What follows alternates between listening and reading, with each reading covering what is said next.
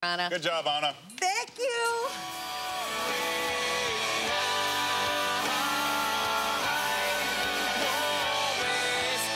The Lifeline is a local rock band that combines hard rock and classical music. They call it Class Meets Sass.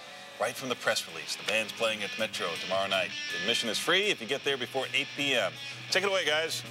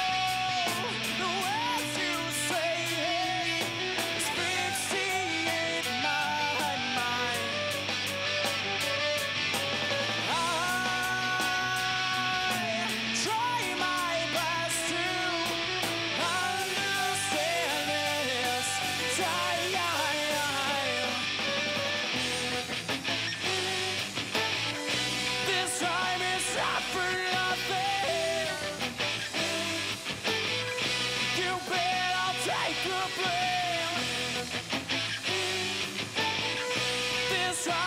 James